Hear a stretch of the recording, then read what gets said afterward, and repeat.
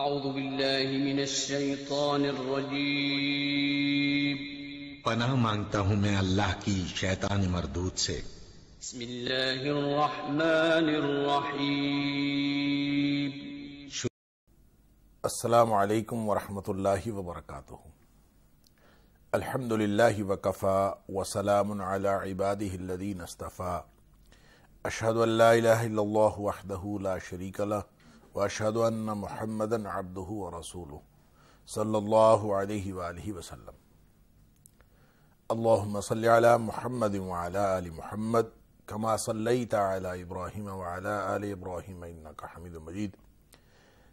اللهم بارك على محمد وعلى آل محمد كما باركت على إبراهيم وعلى آل إبراهيم إنك حميد مجيد. أما بعد. ناظرین کرام، پروگرام روشنی کے ساتھ ایک دفعہ پھر حاضر خدمت ہیں اور ہمارا موضوع نور ہدایت، ایک مستقل موضوع۔ ناظرین کرام، جیسا کہ آپ جانتے ہیں کہ ہماری گفتگو تسلسل کے ساتھ اسی اسی موضوع کے تحت جاری ہے اور اس موضوع کا مطلب یہ ہے، اس کا جو طریقہ کار ہم اختیار کرتے ہیں وہ یہ ہے کہ ہم اللہ کے قرآن کا مطالعہ کریں۔ اور مطلب اس کا یہ ہے کہ قرآن سے ہمیں اللہ تعالی ہدایت کا نور، ہدایت کی روشنی عطا فرما دے۔ ناظرین کرام، اسی دعا کے ساتھ، اسی کوشش کے ساتھ اور اسی خواہش کے ساتھ اللہ کے فضل اور اس کی توفیق سے قرآن حکیم کا مطالعہ تسلسل سے جاری ہے اور آج ہم آغاز کر رہے ہیں سورت النساء کا۔ اللہ کے فضل سے سورت سورہ عال عمران گزشتہ پروگرام میں مکمل ہو گئی تھی۔ اللہ تعالیٰ میری طرف سے، آپ کی طرف سے، ہم کی ہم سب کی طرف سے قبول فرمائے۔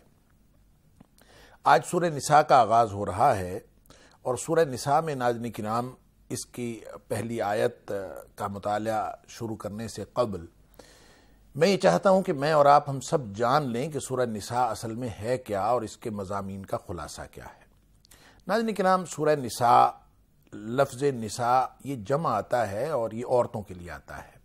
کہتے ہیں کہ اس کی جو واحد ہے وہ امرا ہے کہ ایک عورت کو امراتن کہتے ہیں اور اس کی جمع نساء آتی ہے۔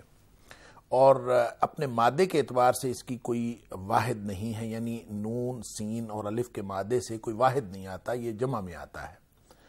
تو صورت النساء کا مطلب ہے عورتیں۔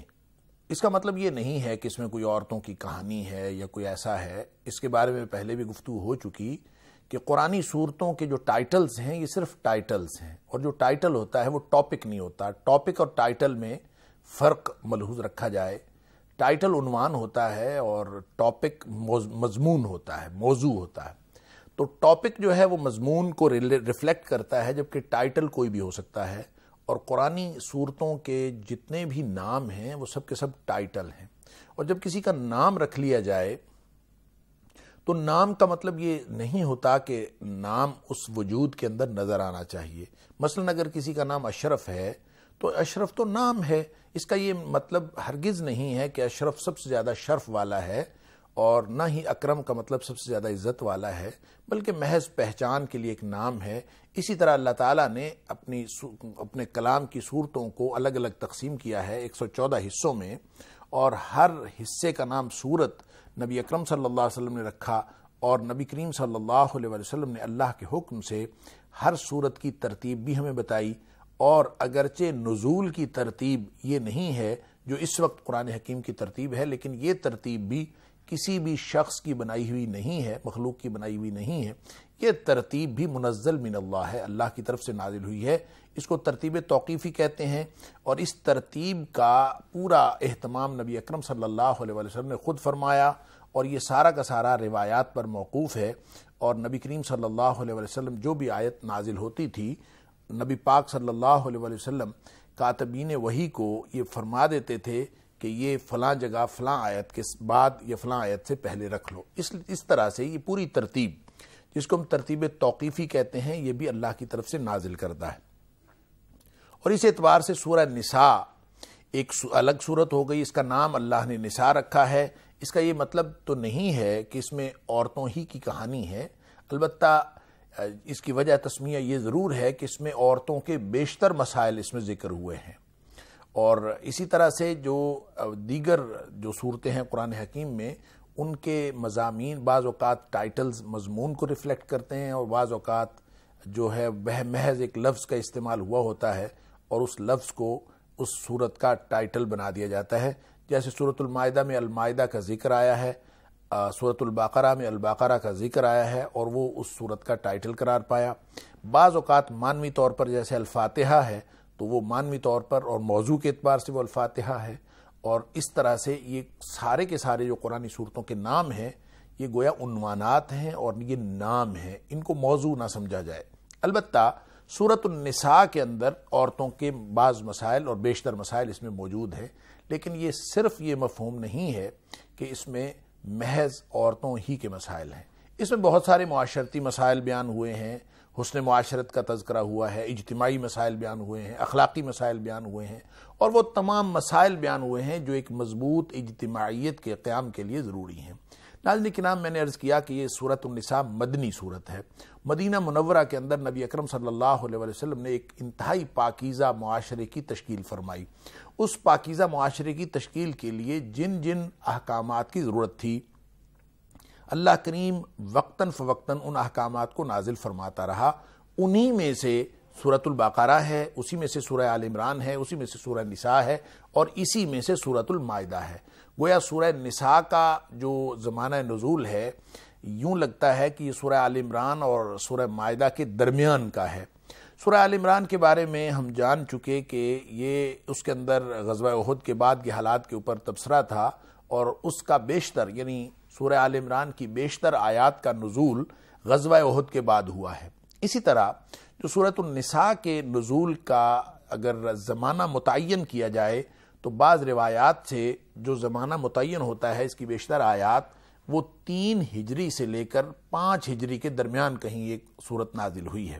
تو یہ کم و بیش سورہ عال عمران کے فوراً بعد کا زمانہ بنتا ہے اور یوں مسائل کے اعتبار سے بھی اور جو وقتی ضرورتیں تھیں اس کے اعتبار سے بھی ایک پاکیز ایک پاکیزہ معاشرے کی تشکیل ایک اس وقت کا درپیش مسئلہ تھا اور اس اس مسئلے کے بارے میں، اس ایشو کے بارے میں جو مختلف قسم کے ہمہ جہت قسم کے احکام ہو سکتے ہیں، اللہ کریم نے اس کے اندر ارشاد فرمائے ہیں۔ داخلی استحکام ایک بہت بڑا مسئلہ تھا، ایک نیا گروہ پیدا ہو گیا تھا جن کو منافقین کہتے ہیں۔ اور منافقین جہاں داخلی استحکام کے حوالے سے پرابلمز کریٹ کر رہے تھے، مسائل پیدا کر رہے تھے، اسی طرح وہ خارجی استحکام کے بارے میں بھی مسائل پیدا کر رہے تھے۔ لہٰذا ایک مضبوط اجتماعیت کے قیام کے لیے داخلی استحکام کس طرح سے ہوگا، اس کے بارے میں بھی اللہ کریم نے بعض احکامات نازل کیے، سورہ نساء کے اندر موجود ہیں۔ خارجی استحکام کے حوالے سے مختلف احکامات نازل فرمائے۔ تو یوں کہہ لیجیے کہ اگر خلاصہ ایک آدھ فکرے میں بیان کیا جائے صورت النساء کے مضامین کا، تو وہ یہ ہے کہ اس کے اندر مختلف معاشرتی، اخلاقی اور اجتماعی احکام دیے گئے ہیں، جو ایک مضبوط اجتماعیت کے لیے اور ایک پاکیزہ معاشرے، ایک مستحکم پاکیزہ معاشرے کی تشکیل کے لیے ضروری ہے ناظرین کے نام اس خلاصے کو اگر تھوڑا سا پھیلائیں اور سورہ نساء کے مضامین کو الگ الگ جو ہے وہ جاننے کی کوشش کریں، تو اس کے لیے جو پہلے بھی میں عرض کرتا ہوں کہ خلیل الرحمن چشتی صاحب، ہمارے بہت ہی مہربان دوست، ان کی ایک کتاب ہے کہ قرآن صورتوں کا نظم جلی۔ یعنی قرآن حکیم کے مضامین کو انہوں نے الگ الگ کرنے کی کوشش کی ہے اور بڑی ہی اچھی عمدہ اور قرآن حکیم کے مضامین کو سمجھنے کے لیے بڑی ہی بہترین کتاب ہے۔ تو اس میں انہوں نے جو صورت صورت النساء کے مضامین کو تقسیم کیا ہے، ناظرین کی نام وہ تقریباً نو حصوں میں تقسیم کیا ہے۔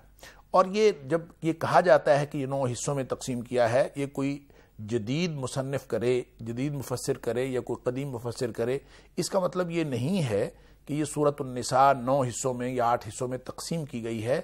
صورت النساء تو ایک مکمل صورت ہے، البتہ اس میں مضامین کو جب تقسیم کیا جاتا ہے تو یہ محض اپنی ذاتی تفہیم کے لیے کہ اس میں اس کو الگ الگ مضامین، یہ مضمون بھی اس میں بیان ہوا ہے، یہ مضمون بھی اس میں بیان ہوا ہے۔ اور یہ لازمی طور پر یہ آٹھ یا نو حصے ہی نہیں جو بیان کیے گئے ہیں، اس سے زیادہ بھی مضامین کے حصے کیے جا سکتے ہیں اور اس کی تقسیم اور کسی طرح سے بھی کی جا سکتی ہے، جو بھی کسی شخص کے یا کسی گروہ کے یا کسی معاشرے میں تفہیم کے لیے ضروری ہو۔ بہرحال، اس اعتبار سے یعنی اس کے جو نظم جلی کے اعتبار سے اس اس صورت کو نو حصوں میں تقسیم کیا گیا ہے۔ مضامین کے اعتبار سے جو پہلا حصہ ہے ناظرین کرام، وہ آیت نمبر ایک سے لے کر فورٹی تھری تک۔ تو اس کو کہا جاتا ہے کہ حسن معاشرت سے متعلق احکام ہے جیسا کہ میں نے پہلے عرض کیا کہ حسن معاشرت ایک بہت ہی اہم موضوع، معاشرتی طور پر یہاں موضوع دیے، یہاں بہت سارے احکامات دیے گئے اور اس میں سے ایک موضوع حسن معاشرت۔ یعنی معاشرہ کس طرح سے باہمی طور پر جو لین دین کے معاملات ہیں یا اس وقت کے جو جتنے ایشوز ہیں، یتیموں کا بڑا مسئلہ تھا، کیونکہ جنگ ہوئی جنگ عہد میں مسلمانوں کے ستر صحابہ کرام جو ہیں وہ شہید ہو گئے اور پھر اس کے بعد شہیدوں کے جو یتامہ تھے، ان کا مسئلہ بیک وقت پیش آیا۔ اور پھر اس کے علاوہ بھی یتیموں کا معاشرے کے اندر کوئی مقام ایسا نہیں تھا کہ اس کے اندر جو عربوں کے ہاں یتیموں کے بارے میں جو طریقہ اور جو ان کے ساتھ رویہ رکھا ہوا تھا، وہ درست نہیں تھا اور قرآن حکیم نے اس کے بارے میں خصوصیت کے ساتھ بات کی، تو یہاں یتیموں کا مسئلہ بھی زیر بحث آیا۔ اور جیسے میں نے عرض کیا کہ حسن معاشرت کی جب بات ہوتی ہے، تو اس میں پھر جو باہمی معاملات ہیں، لین دین کے وہ بھی آتے ہیں۔ اور خاص طور پہ اس میں وراثت کے احکام، کہ اگر کوئی شخص فوت ہو جاتا ہے، تو وہ وراثت کس طرح سے تقسیم ہونی چاہیے؟ معاشرتی طور پر کس کا کتنا حق بنتا ہے؟ کیونکہ عرب کے معاشرے میں تو مائٹ از رائٹ کا قانون تھا، جس کی لاٹھی اس کی بھینس یعنی جو تگڑا ہوتا تھا، وہ سارا حصہ لے جاتا تھا۔ لہذا بالعموم فوت ہونے والے کے جو بڑے بیٹے ہوتے تھے، جو تگڑے ہوتے تھے، جن کے پاس قوت ہوتی تھی، وہ عام طور پر سارا مال ہتھیا کے لے جاتے تھے اور چھوٹے بچے اور پھر عورتیں، یہ خاص طور پر اس وراثت کے حق سے محروم تھیں۔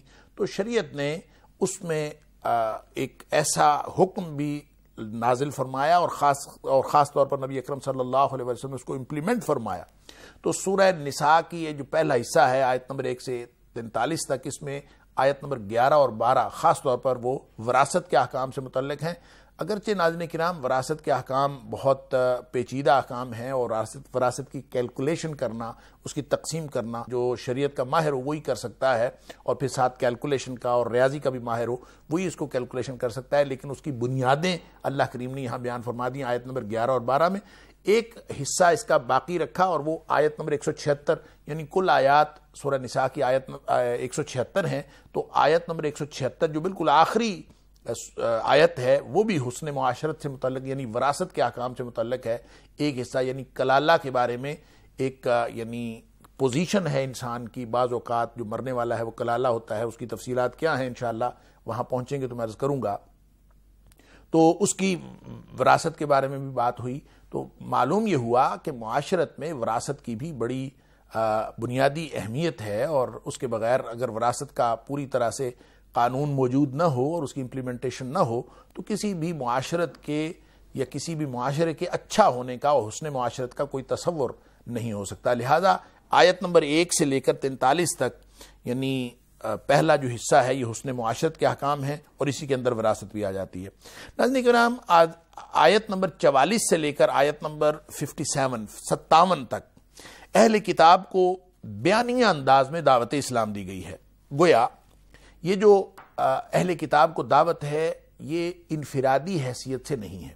یہ اگرچہ بیانی انداز اس میں اپنایا گیا ہے، لیکن یہ ایک ریاست کے اہم فریضے کے طور پر یہاں بیان ہوئی ہے کہ جو ریاست قائم ہوگی، اسلامی ریاست، اس کو یہ چاہیے کہ جو دیگر غیر مسلم ہیں، ان کو دعوت دین دے۔ اور جس طرح سے ایک ریاست کا اہم فریضہ ہوتا ہے، تو اس اعتبار سے یہاں پہ بیانی انداز میں اہل کتاب کو دعوت اسلام دی گئی ہے۔ اہم ریاستی فریضے کے طور پر۔ اس کے بعد ناظرین کی نام آیت نمبر اٹھاون اور انسٹھ، یہ دو آیتیں، یہ اصل میں یعنی یوں کہہ لیجیے کہ حکومت اور رعایا کے حقوق اس میں اصل میں بیان ہوئے ہیں اور اس حکومت اور رعایا کے احکام کا جو مختصر بیان ہے آیت نمبر اٹھاون اور انسٹھ میں، اس سے ناظرین کرام ایک اجتماعی، مستحکم اجتماعی نظام کی کی بنیاد پڑتی ہے۔ لہٰذا یوں کہہ لیجیے کہ اجتماعی نظام کا استحکام حاصل کرنے کے لیے اور استحکام کے مقاصد حاصل کرنے کے لیے اس میں حکمران اور رعایا کے حقوق کی بات کی گئی ہے۔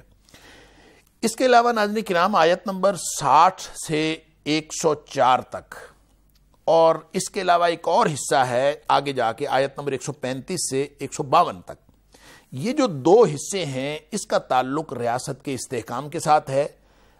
گویا آیت نمبر ساٹھ سے ایک سو چار تک بھی اور ایک سو پینتیس سے ایک سو باون تک۔ درمیان میں دو حصے میں چھوڑ رہا ہوں، وہ میں بعد میں عرض کرتا ہوں۔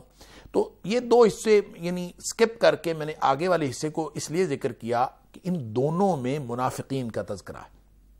لیکن فرق ہے ان دونوں میں، جو پہلا حصہ ہے آیت نمبر ساٹھ سے ایک سو چار تک یعنی جس کو ہم کل مضامین کے اعتبار سے چوتھا حصہ قرار دیتے ہیں، اس میں ناظرین کرام منافقین کی خرابیاں اور جہاد کا تذکرہ ہے۔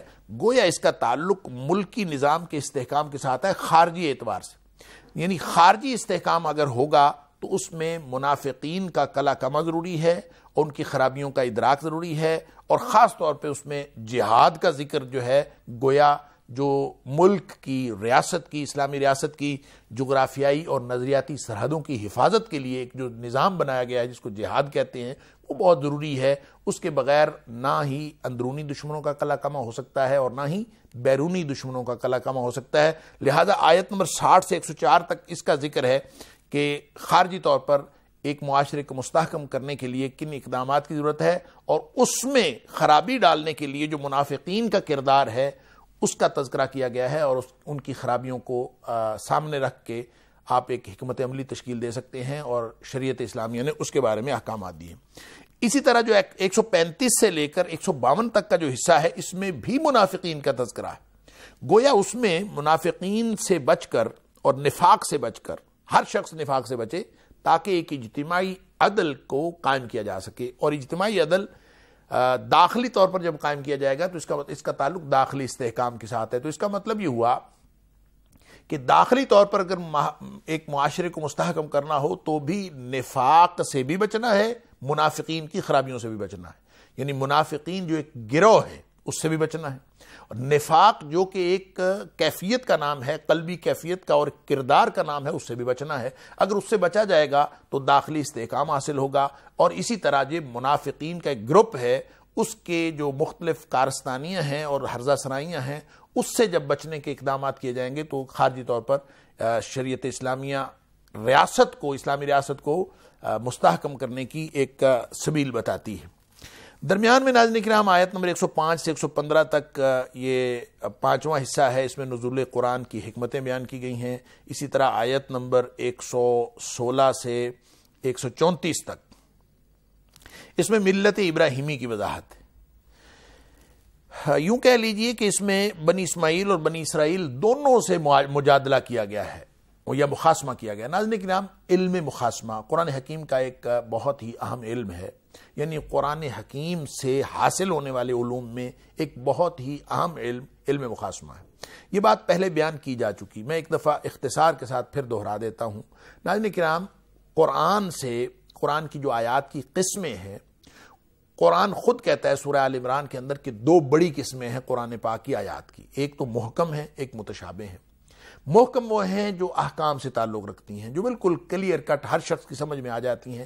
قرآن کہتا ہے منہ آیات محکمات ہن ام الکتاب اس میں کچھ آیات ہیں جو بالکل ہر ایک کی سمجھ میں آنے والی ہیں۔ محکم آیات ہیں اور احکام کی آیات ہیں۔ ہن ام الکتاب وہ کتاب کی اصل ہے اصل جو مقصد نزول ہے اس قرآن کا، وہ وہی ہے اس کے علاوہ بھی کچھ آیات ہیں باخر و متشابہات، اور جو محکم آیات نہیں ہیں، جو ہر شخص کی سمجھ میں نہیں آتی، اور اس کے اندر مختلف معانی کے اخذ ہونے کا احتمال موجود ہوتا ہے، وہ بھی قرآن پاک کے اندر آیات موجود ہیں۔ ان کو قرآن کہتا ہے وہ اخر و متشابہات، وہ ساری کی ساری متشابہات ہیں۔ اور متشابہات میں سے چونکہ مختلف معنی نکلنے کا امکان ہوتا ہے، لہٰذا قرآن کہتا ہے کہ اس کے بارے میں بہت تفصیل سے جاننے یا اصل حقیقت یا اصل مفہوم متعین کرنے کی کوشش نہیں کرنی چاہیے۔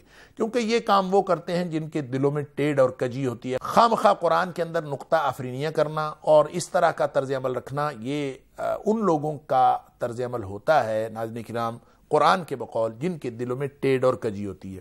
سورہ عمران میں ہم پڑھا ہے، قرآن کہتا ہے فام الدینہ فی قلوبہم زیغن جن کے دلوں میں ٹیڑ اور کجی ہوتی ہے فیتبعون ما تشابہ من ابتغاء الفتن و ابتغاء تعویلی وہ تتبو کرتے ہیں، وہ پیچھے بھاگتے ہیں متشابہات نہیں جی اس کا صحیح مفہوم میں بتاتا ہوں، اس کا صحیح مفہوم اس کی اصلی بات مجھے میری سمجھ میں آئی ہے۔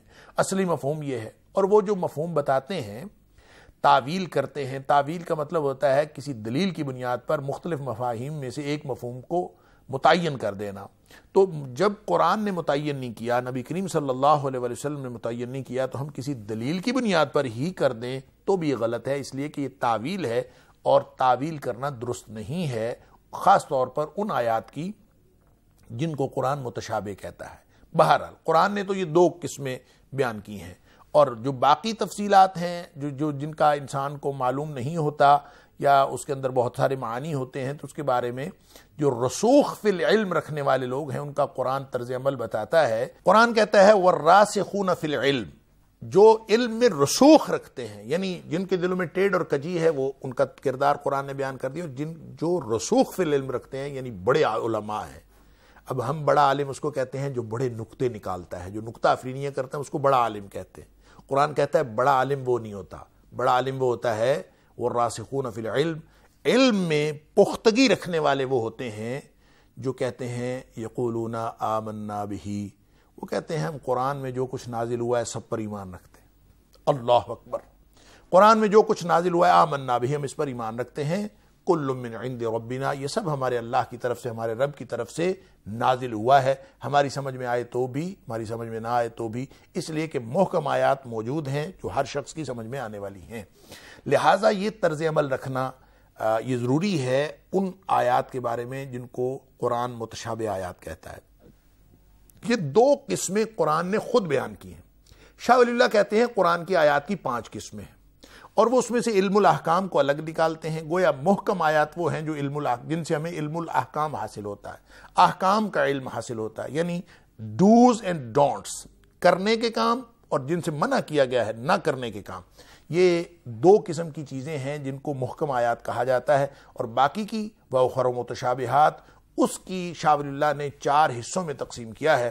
وہ کہتے ہیں ان میں بھی بہت ساری آیات جو جن کو شاہ ولی اللہ نے چار قسموں میں تقسیم کیا ہے، ان میں سے بھی بہت ساری آیات محکم ہو سکتی ہیں اور پھر بہت ساری متشابہ ہو سکتی ہیں۔ لیکن شاہ ولی اللہ پانچ حصوں میں تقسیم کرتے ہیں۔ ایک علم الاحکام ہے، ایک علم تذکیر بعلیٰ اللہ ہے، ایک تذکیر بیام اللہ ہے۔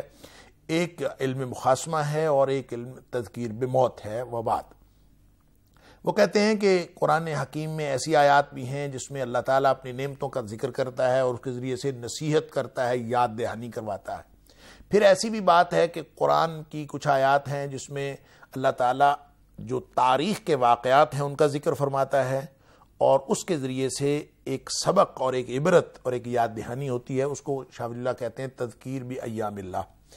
اور اسی طرح سے ایک تذکیر بھی موت ہے، وبا تذکیر بھی موت وباد ہے کہ قرآن نے حکیم ایسی آیات بھی ہمیں سناتا ہے اور ایسی آیات بھی قرآن حکیم میں موجود ہیں جس میں موت کا ذکر ہے، موت کے بعد کی زندگی کا ذکر ہے، جنت دوزخ کا ذکر ہے، آراف کا ذکر ہے، مختلف چیزوں کا حشر کا ذکر ہے، اللہ کے سامنے جواب دہی کا ذکر ہے اور انعامات کا ذکر ہے، عذابوں کا ذکر ہے۔ وہ جتنی بھی چیزیں ہیں، اس طرح کی آیات ہیں، وہ ساری کی ساری علم تذکیر بے موت یعنی موت اور بعد کا علم ہمیں حاصل ہوتا ہے اور اس کے بارے میں ظاہر ہم کوئی تعین نہیں کر سکتے، ہم کوئی اس کے بارے میں معنی متعین نہیں کر سکتے کہ اس کا کیا مطلب ہے، وہ اللہ جانتا ہے۔ ظاہر ہے جو چیز دیکھی نہیں، اس کا معنی کیسے متعین کیا جاتا؟ لیکن ایک جو علم ہے، علم مخاسمہ جہاں سے ساری گفتگو کا آغاز ہوا اور ہماری گفتگو کا رخ اس طرف چلا گیا، ناظرین کرام مخاسمہ کا مطلب ہوتا ہے کسی سے دلائل کا تبادلہ کرنا، یا مجادلہ، یہ بھی دلائل کا تبادلہ ہوتا ہے۔ قرآن نے چار بنیادی طور پر چار گروہ ہیں جن سے مخاسمہ کیا ہے یعنی باطل گروہوں کے ساتھ، منافقین تھے اور مشرقین تھے۔ ان چاروں کے ساتھ مخاسمہ کیا گیا ہے۔ لیکن یہاں جو اللہ کریم نے مخاسمہ فرمایا ہے، آیت نمبر 116 سے لے کر آیت نمبر 134 میں، یہاں پہ مخاسمہ یہود سے بھی ہے، نصارہ سے بھی ہے اور مشرقین سے بھی ہے۔ یوں کہہ لیجیے کہ حضرت ابراہیم علیہ السلام کو اپنا بڑا سمجھتے تھے مشرقین مکہ بھی اور خود دعویٰ کرتے تھے ملت ابراہیمی کے پیروکار ہونے کا۔ یہود بھی اپنے آپ کو ابراہیم علیہ السلام کے پیروکار سمجھتے تھے اور سمجھتے تھے کہ ہم ابراہیم علیہ السلام کے دین پر ہیں۔ اسی طرح سے عیسائی بھی اپنے آپ کو ابراہیم علیہ السلام کے ساتھ جوڑتے تھے۔ یوں یہ تینوں جو گمراہ فرقے ہیں، یہود بھی، نصارہ بھی اور مشرقین بھی، وہ اپنی نسبت حضرت ابراہیم علیہ السلام کے ساتھ کرتے تھے۔ یہاں آیت نمبر ایک سو سولہ سے ایک سو چونتیس تک جو ہے، اللہ کریم نے ملت ابراہیمی کی وضاحت فرمائی۔ ملت ابراہیمی اصل میں ہے کیا؟ ملت ابراہیمی کس کو کہتے ہیں؟ حضرت ابراہیم علیہ السلام کا دین کیا تھا؟ ابراہیم علیہ السلام کا کردار کیا تھا؟ اور سمجھایا یہ گیا ہے یعنی مخاسمہ کیا گیا ہے بنی اسماعیل کے ساتھ بھی یعنی مشرقین مکہ کے ساتھ بھی، جو قریش سے تعلق رکھتے تھے اور یہ بنی اسماعیل سے تھے، نبی پاک صلی اللہ علیہ وسلم کے خاندان سے تھے، اور بنو ہاشم، بنو امیہ یا جو بارہ قبائل تھے قریش کے، یہ بارہ کے بارہ قبائل نبی پاک صلی اللہ علیہ وسلم کے خاندان سے تھے اور بنی اسماعیل سے تھے۔ حضرت اسماعیل علیہ السلام کی جو لڑی چلی، اس میں حضرت اسماعیل کے بعد، حضرت اسماعیل علیہ السلام کے بعد نبی اکرم صلی اللہ علیہ وسلم جو پیغمبر آخر الزماں ہے محمد کریم صلی اللہ علیہ وسلم، اس سے قبل کوئی یعنی درمیان میں کوئی نبی نہیں آیا۔ بنی اسرائیل میں بے شمار انبیاء آئے مشرقین مکہ جو ہے ناظرین کرام، یہ چونکہ قریش سے تعلق رکھتے ہیں، لہذا یہ بنی اسماعیل سے ہیں۔ اور یہود و نصارہ دونوں بنی اسرائیل سے ہیں۔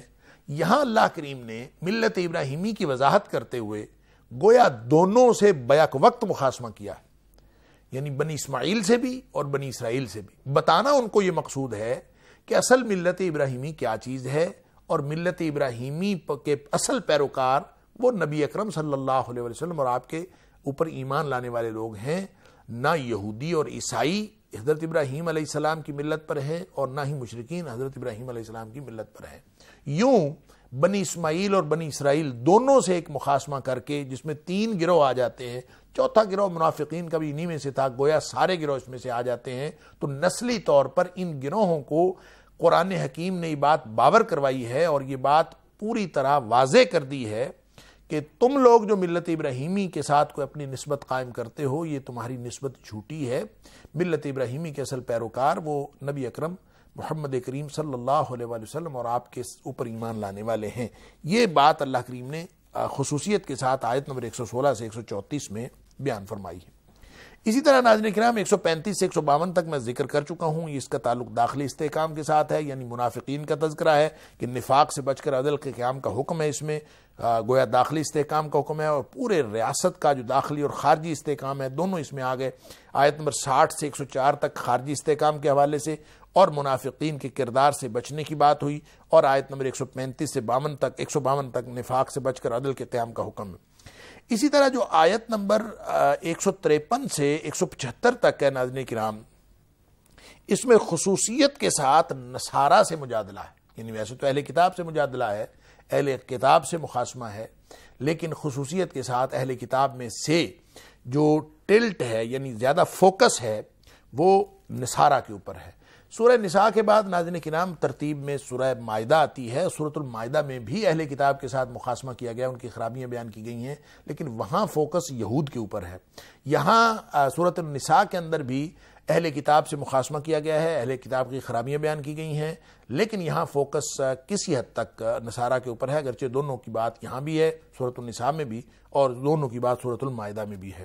ناظرین کرام آخری ایک آیت رہ جاتی ہے ایک سو چھہتر، جس میں جو میں نے شروع میں عرض کیا کہ میراث کے احکام کا تعلق، جس کا تعلق حسن معاشرت کے ساتھ ڈائریکٹ یعنی براہ راست تعلق ہے، اس حسن معاشرت کے حوالے سے یعنی میراث کے حوالے سے آیت نمبر ایک سو چھہتر میں کلالہ کے حوالے سے گفتگو ہوئی ہے اور یوں ناظرین کے نام یہ حسن معاشرت کے مضمون سے شروع ہونے والی یہ صورت حسن معاشرت ہی کے مضمون پر مکمل ہوتی ہے۔ یہ ہے ناظرین کرام صورت النساء کا خلاصہ اور اب ہم انشاءاللہ اللہ کے فضل اور اس کی توفیق سے آغاز کرتے ہیں پہلی آیت سے۔ اعوذ باللہ من الشیطان الرجیم۔ بسم اللہ الرحمن الرحیم۔ یا ایوہ الناس اتقوا ربکم الذی خلقکم من نفس واحدت وخلق منها زوجها وبث منهما رجالا كثيرا ونساء۔ واتقوا الله الذي تساءلون به والارحام ان الله كان عليكم رقيبا. اے لوگو، یا یوناس اے لوگو اتقو ربکم، تقوی اختیار کرو اپنے رب کا، یا ڈرو اپنے رب سے، اپنے پالن ہار سے اللہ جو خلقکم، جس نے تمہیں پیدا کیا من نفس واحدت ایک جان سے، اور پھر اس جان سے اس کی بیوی کو پیدا کیا، پھر ان میں سے، ان دونوں میں سے بہت سے مرد اور عورتیں زمین میں پھیلا دیے۔ اور ڈرو اللہ سے جس کے نام کا ایک دوسرے سے سوال کرتے ہو اور رشتہ داریوں کو توڑنے سے بھی ڈرو۔ ان اللہ کان علیکم رقیبہ بے شک اللہ تمہارے اوپر نگبان ہے۔ تقوی اس پر بہت بات ہو چکی۔ یہ ایک ایسی سپرٹ ہے، یہ ایک ایسی روح ہے۔ ایک ایسا تصور ہے، شاید جو دنیا کے کسی مذہب میں بھی نہیں ہے اور کسی قانون میں بھی نہیں ہے۔ عام طور پر لوگ کہتے ہیں کہ ایک یعنی ایکشن ہوتا ہے، ایک انٹینشن ہوتی ہے۔ ایک نیت اور ایک عمل، یا ایک عمل، ایک اس کا ارادہ۔ تو ان دونوں چیزوں کو قانون دیکھتا ہے اور قانون کسی بھی چیز کے ارادے کو بھی دیکھتا ہے اور ارادے کو بھی جو سرکمسٹانشل ایویڈنس ہے یا مختلف ایویڈنسز سے وہ ارادے کو بھی دیکھتا ہے اور عمل کی ظاہری شکل کو بھی دیکھتا ہے۔ اب اس نیت کو اور دوسری چیز جو عمل کا ظاہری جو بھی شکل بنتی ہے، اس کے علاوہ ایک تیسری چیز ہے، یا یوں کہہ لیجیے جس کا تعلق نیت کے ساتھ ہے، یا نیت کے ساتھ جڑی ہوئی ایک چیز، جس کا تعلق انسان کے قلبی احساس کے ساتھ ہے، اس کا نام تقوا ہے۔ یہ اس کا تصور سوائے اسلام کے کسی اور نے نہیں دیا۔ یہ ایک روح ہے۔ ہر عمل کی ایک روح ہوتی ہے۔ عمل اور ارادہ کے علاوہ ایک روح ہوتی ہے، اور روح کا نام تقوا ہے۔ پورے قرآن میں جہاں کہیں بھی احکام کا ذکر ہوا، یہ کرو یہ کرو یہ کرو، جو بھی قانون آیا۔ ساتھ یہ بات ضرور کہی کہ وہ تق اللہ اللہ سے ڈرو۔ اب یہ تقوی کیا ہے؟ اس کی ساری تفصیلات سے قطع نظر۔ دیکھیں، تقوی یہ وقا یقی وقایتن سے ہے۔ یعنی اس کا لفظی معنی ہوتا ہے بچنا۔ اسی سے اصطلاح بنی تقوی۔ اور قرآن بار بار حکم دیتا ہے اور کم و بیش پانچ سو بار قرآن حکیم میں مختلف اسلوب میں تقوی اختیار کرنے کا حکم آیا ہے۔ اب اس کا مطلب یہ ہوا کہ بہت ہی اہم چیز ہے۔ نبی پاک صلی اللہ علیہ وسلم نے اپنے دل کی طرف اشارہ کر کے فرمایا تھا، تین بار آپ نے فرمایا اتقوا ہا ہونا اتقوا ہا ہونا اتقوا ہا ہونا تقوا دل میں ہوتا ہے۔ وہ کیا چیز ہوتی ہے؟ دل میں تو احساسات ہوتے ہیں۔ تو تقوا اصل میں دوہرے احساس کا نام ہے۔ ایک احساس اللہ کی ناراضگی سے بچنے کا اور دوسرا احساس اللہ کی رضامندی حاصل کرنے کا۔ اگر کسی شخص کے دل میں شدید تڑپ ہو کہ مجھ سے کوئی ایک ایسا چھوٹے سے چھوٹا کام سرزد نہ ہو جائے جو اللہ کی ناراضگی کا باعث بن سکتا ہے، اور کوئی چھوٹے سے چھوٹا کام ہونے سے رہ نہ جائے جو اللہ کی رضامندی کا باعث بن سکتا ہے، تو اس کا نام تقوی ہے۔ اللہ تعالیٰ ہم سب کو متقی بنائے۔ یہ احساس اگر دل میں پیدا ہو جائے تو وہ پھر احساس نہیں رہتا، بلکہ وہ کردار میں ظاہر ہوتا۔ ہے لہٰذا ہم جو اس کا معنی پرہیزگار کر دیتے ہیں اور تقوی کا معنی انگریزی میں پائس کر دیتے ہیں، تو پرہیزگار تو وہی ہوتا ہے جو گناہوں سے پرہیز کرتا ہے، نیکیاں کرتا ہے۔ تو شدید احساس نیکی کرنے کا اور شدید احساس گناہ سے بچنے کا جب یہ دل میں پیدا ہوتا ہے تو اسی کا نام تقوی ہے۔ اب یہ اس احساس کے بغیر یعنی یہ ایک بالکل الگ روح ہے۔ ارادہ بھی اپنی جگہ یعنی نیت، اور عمل بھی اپنی جگہ، لیکن اس کے اندر روح ہونی چاہیے۔ کیا؟ کہ ہر کام کرنے کے پیچھے یہ جذبہ کار فرما ہونا چاہیے، یہ احساس کار فرما ہونا چاہیے کہ میں اس کام کے ذریعے سے اللہ کو راضی کرنا چاہتا ہوں اور اللہ کی ناراضگی سے بچنا چاہتا ہوں۔ اگر انسان نے یہ متلقن اپنی زندگی کا موٹو طے کر لیا تو وہ متقی ہے۔ تو اللہ بار بار یہ ارشاد فرماتا ہے کہ تمہارے دلوں کا تقوی ہے، اصل میں جو اللہ کو ریکوائرڈ ہے، جو اللہ کو جس چیز کی ضرورت ہے، جو اللہ تعالیٰ کو مطلوب ہے، اللہ کو ضرورت نہیں ہے۔ اللہ نے جس بنیاد پر انسانوں کو کامیاب قرار دینا ہے، جو اللہ نے ہم سے چاہا ہے کہ تم کرو، وہ تقوی ہے۔ اس لیے اللہ تعالیٰ فرماتا ہے، لَن يَنَالَ اللَّهَ لُحُومُهَا وَلَا دِمَاؤُهَا وَلَاكِن يَنَالُهُ التَّقْوَى مِنْكُمْ یہ جو تم قربانیاں کرتے ہو، یہ خون اور گوشت اللہ کو نہیں پہنچتا، اللہ کو تو دلوں کا تقوی پہنچتا ہے۔ تمہاری روح کیسی ہے؟ تمہارا احساس کیسا ہے؟ اگر وہ احساس اللہ کی ناراضگی سے بچنے کا ہے اور اللہ کی رضامندی حاصل کرنے کا ہے، تو یہ اللہ کو یہی پسند ہے۔ اب ناظرین کرام، یہاں خطاب آمنو کو نہیں ہے۔ سورہ آل عمران کی آخری آیت میں خطاب آمنو کو ہے۔ اے لوگ، وہ لوگ جو ایمان لائے ہو یا ایمان کا دعویٰ کرتے ہو۔ یہاں سورہ نساء کی ابتدا میں یا الناس کہہ کے خطاب کیا گیا ہے۔ ناظرین کرام، جب مکی اور مدنی صورتوں کی الگ الگ الگ خصوصیات ہم بیان کرتے ہیں، تو اس میں ہم عام طور پر ایک بات کرتے ہیں کہ مکی صورتوں میں یا یو الناس کہہ کے بلایا پکارا گیا ہے، اے لوگو، اور مدنی صورتوں میں عام طور پہ یا الذین آمنو کہہ کے پکارا گیا ہے، کیونکہ اس کے بعد مدنی معاشرہ ایک اسلامی معاشرہ قائم ہو گیا تھا۔ لیکن یہاں مدنی صورت ہونے کے باوجود خطاب انسانیت کو ہے۔ اور سورہ بقرہ میں آپ بھی آپ دیکھتے ہیں، پہلے دو رکوعوں کے بعد آیت نمبر اکیس سے جب آغاز ہوتا ہے تیسرے رکوع کا تو اللہ فرماتا ہے، یا ایوہ الناس سعبدو ربکم الذی خلقکم۔ اے لوگو، ساری انسانیت کو خطاب ہے۔ اے سارے لوگوں کائنات کے لوگوں اپنے رب کی عبادت کرو، جس نے بھی لعلکم تتقون یعنی عبادت کرو گے، اس سسٹم میں آؤ گے، تو پھر تم متقی بن جاؤ گے۔ یہاں فرمایا کہ تم اللہ سے ڈرو۔ یا یو ناسو اے ساری کائنات کے لوگوں اتقو ربکم، اپنے پالن ہار سے ڈرو۔ رب ناظرین کرام وہاں بھی فرمایا تھا، یا الناس عبدو ربکم، کہ اے کائنات کے لوگوں غلامی کرو، عبدیت میں آ جاؤ اپنے رب کی۔ رب کون ہوتا ہے؟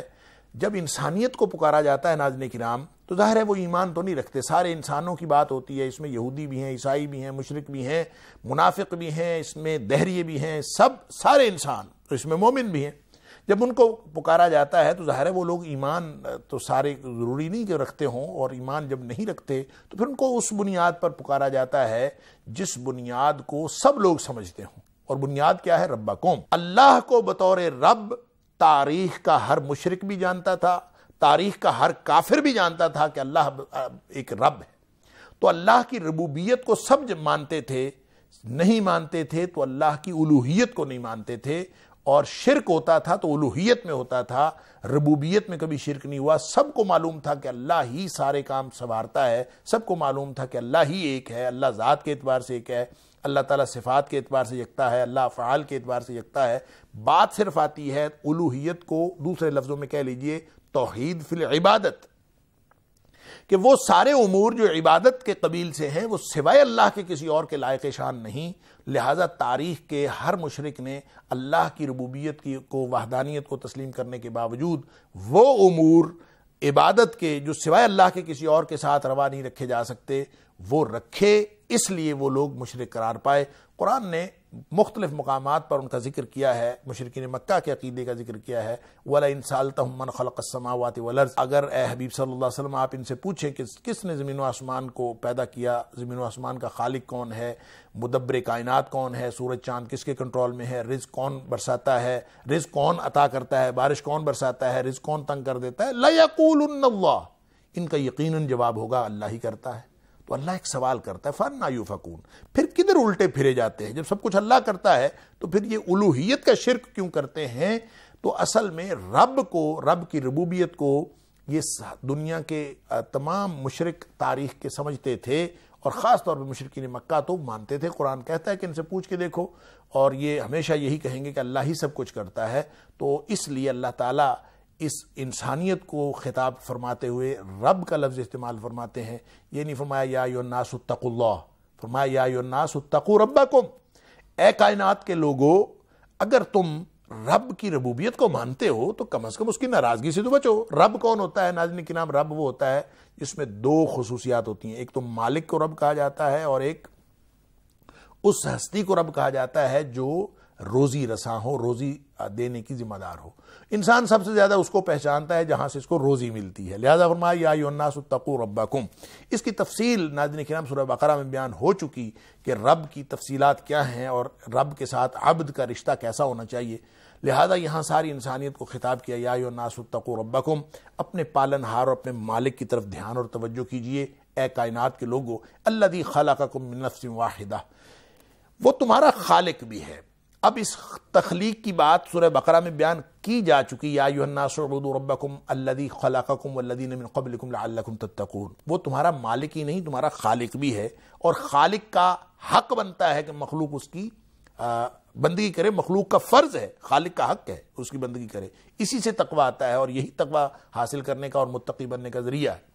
یہاں یہ فرمایا کہ وہ تمہارا خالق کیسے ہے؟ اس نے تمہیں ایک جان سے پیدا کیا ہے، ایک حقیقت کی طرف، ایک تاریخی حقیقت کی طرف اشارہ کیا کہ اس نے تمہیں ایک جان سے پیدا کیا ہے۔ اور وہ جان کیا ہے؟ وہ کون سی جان ہے؟ یہ نہیں فرمایا کہ بابا آدم سے پیدا کیا ہے، یہ نہیں فرمایا کہ اما ہوا سے پیدا کیا ہے، بس یہ فرمایا کہ اللہ خالقکم من نفس واحدہ، ایک واحد جان سے پیدا کیا۔ وَخَلَقَ مِنْهَا زَوْجَهَا پھر اس کے بعد اس جان سے اس کے زوج کو پیدا کیا۔